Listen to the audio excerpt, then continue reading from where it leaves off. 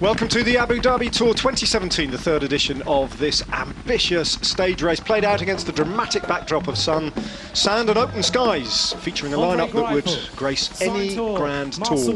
With all but one or two exceptions, the greatest racers of this generation are here to do battle, the fastest sprinters and a frankly stellar lineup of climbers to a certain extent, it doesn't really matter for Manuele Mori now. He's going to get points whatever happens, and he's going to get enough points to dispatch with the threat of Mirko Maestri.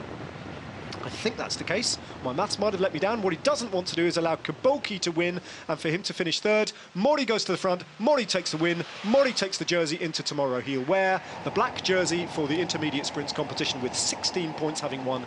Manuele Mori can be very pleased with his day, the Italian riding for UAE Abu Dhabi and so too for Astana can uh, Zakharov. Their work is done. They can sit up and think of their shower and their dinner.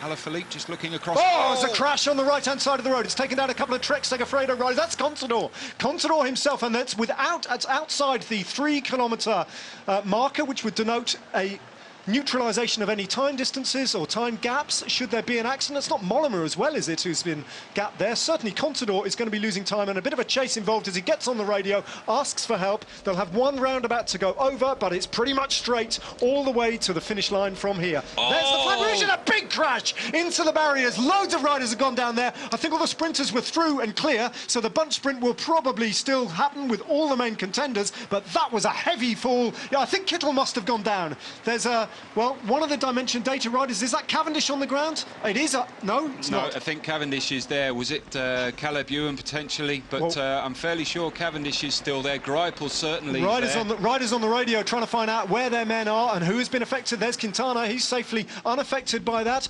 Andre Greipel is definitely there. Marcel Kittel is not there.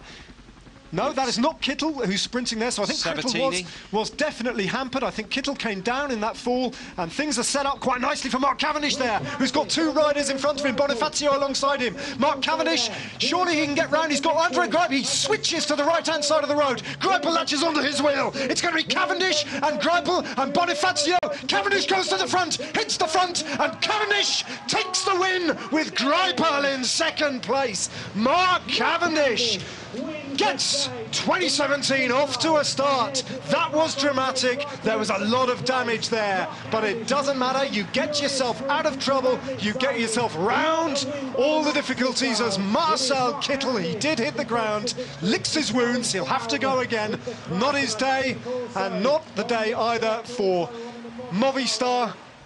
So Cavendish beating Andre Greipel from Germany, then three Italians in third, fourth and fifth. Elia Viviani, Simone Consonni and Nicola Bonifazio. Good, promising sprint from him. Just got it wrong in the end, I think, in terms of timing. Roger Kluge from Germany and Orica Scott deputising in the sprint for Caleb Ewan, who was clearly hampered by that big fall that also did for Marcel Kittel's chances.